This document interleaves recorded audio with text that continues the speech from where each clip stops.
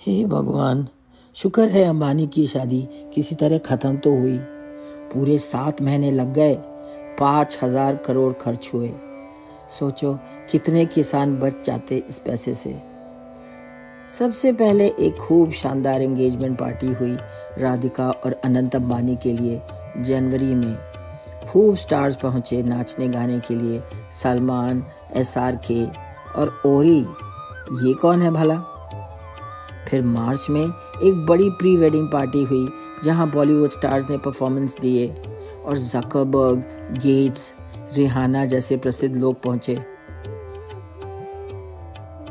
पचास गरीब कपल्स की शादी कराई गई। पचास क्यों? सौ क्यों नहीं? पैसे की कमी तो है नहीं। फिर मार्च में जामनगर में हुआ खूब बड़ा इवेंट जहाँ छोटे बाबा की सेंचुरी है, पचास हाथियों के लिए। फिर पचास का चक्कर। शंकराचार्य ने बोला होगा, पचास शुभ है। 12 जुलाई से शुरू ही मेन शादी के इवेंट्स उनके बंगले अंटला में। Hillary Clinton, Tony Blair Adele FIFA के प्रेसिडेंट और डब्ल्यू डब्ल्यू ई के रेसलर जॉन सीना। वो कौन है भाई? नीता भाभी ही जानती होंगी। प्राइम मिनिस्टर मोदी भी पहुँचे पूरी फैमिली को ब्लेस करने के लिए। रैप सिंगर पिटबुल भी पहुँचे अमिताभ बच्चन की पूरी फैमिली और कार्डाशियन सिस्टर्स क्या अजीब और गरीब गेस्ट लिस्ट है ये, मानना पड़ेगा। शंकराचार्य भी आए अमिताभ बच्चन को गली से लगा लिया। बाबा रामदेव एस आर के और सलमान के साथ खूब नाच रहे थे और कार्डाशियंस के साथ मज़ाक कर रहे थे। बड़े बड़े नेता पहुँचे।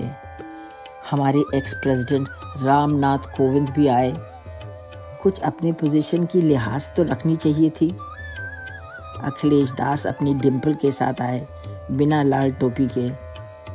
शरद शरद पवार भी आए। जब इतना ब्लैक मनी है तो अपना चेहरा क्यों नहीं ठीक करा लेते? फडनवीस आए अपने परिवार के साथ। स्मृति ईरानी भी अपने पति के साथ पहुँची। अब उनकी शान में थोड़ा कमी आ गई है हार के बाद। हे भगवान कार्डाशियन सिस्टर्स भी पहुँची पूरे चमक धमक के साथ।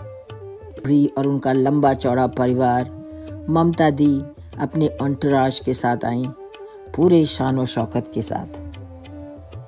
खुदा का शुक्र है, ओबामा, राहुल और ट्रंप नहीं पहुँचे।